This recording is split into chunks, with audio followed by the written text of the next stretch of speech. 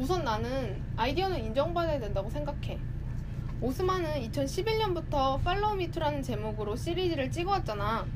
단순 포즈뿐만이 아니라 다양한 의상과 아름다운 배경을 담은 본인의 확고한 콘셉트를 가지고 창조한 엄연한 작품인데 이러한 아이디어를 인정해주지 않는다는 건 창작자의 의욕을 떨어뜨리고 창작 활동을 존중하지 않는다는 것과 같은 거 아닐까? 어, 그런데 이런 식으로도 생각할 수 있지 않아? 근데 그 아이디어의 인정 기준 또한 이렇게 모호할 뿐더러 오스만 사진의 경우에 무라드 오스만 작가가 정말 그 구도의 최초 창시자인지 아니면 오스만도 어딘가에서 영향을 받아 찍은 것인지 그런 진실은 오스만 본인밖에 모르지 않을까. 오스만 작가가 창시자라는 정확한 증거 자료가 우리한테 지금 있는 것도 아니잖아. 저런 구도로 촬영한 다른 사람들이 오스만 사진이 아니라 다른 작품에서 그런 구도로 찍을 것을 영감을 받았다고 주장을 하면은 이게 무작정 오스만에 대한 저작권을 그 사람들에게 들이밀 수도 없다고 생각을 해 나는. 게다가 너가 말한 그 콘셉트를 표현한 그 사진은 당연히 저작물로 인정받을 수 있지.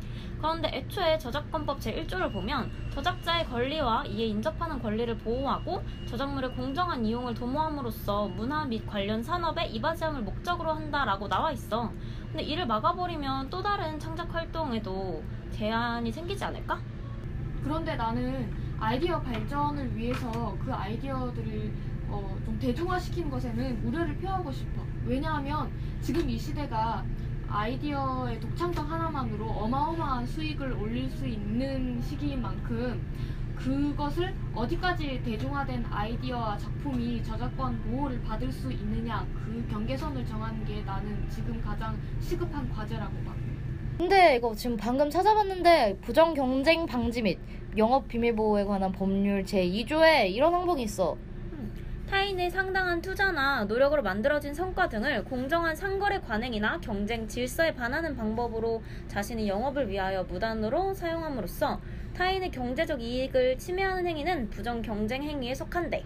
단순히 그 아이디어를 즐기는 차원이나 그를 기반으로 한 창작 활동을 고치시키되 시대가 시대인 만큼 기존 아이디어의 상업적인 이용에 있어서 더욱 엄격한 제재가 필요할 것 같아. 어? 뭐야?